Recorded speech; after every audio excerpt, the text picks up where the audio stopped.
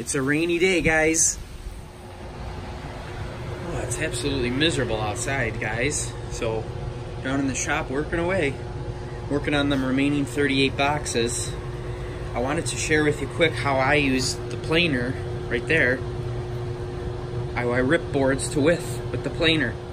In this case, I have so many multiple small parts, them sides on them uh, boxes, I'm using the planer for my final width.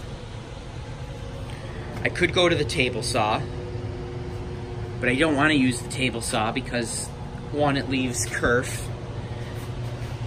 The planer does such a nice smooth finish, and there's no reason you can't use your planer in this circumstance. Typically, set up your fence,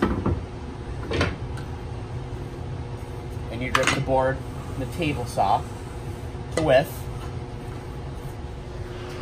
So because I have so many multiple pieces here, guys, I can stack them up on the planer there.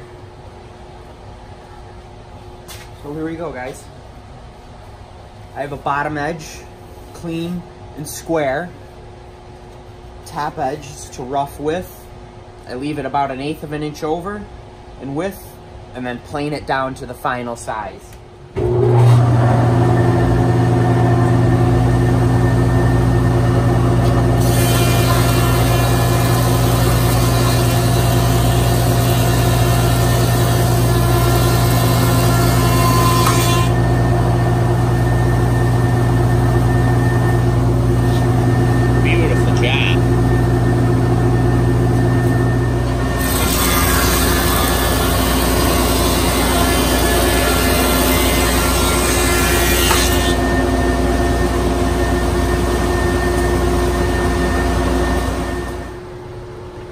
Sides like you've seen in the previous video and like I did in the previous video I've got this to my final width with the planer both edges are nice and parallel. They're clean and smooth. There's no table saw kerf marks anything. That also gives me a beautiful flat glue seam for the tops and the bottoms. It keeps everything nice and crisp. Yeah, I wanted to share with you guys real quick how I use the planer to rip my boards to final width.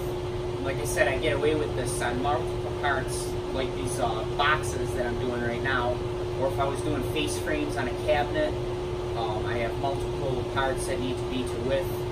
You're obviously limited with the planer.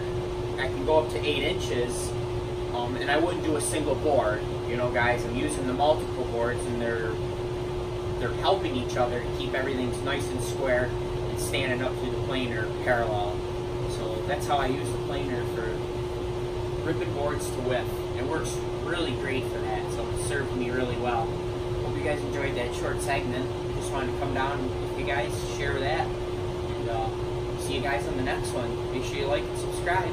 Thanks for everybody who's been watching, comment, and see you on the next one. See you guys.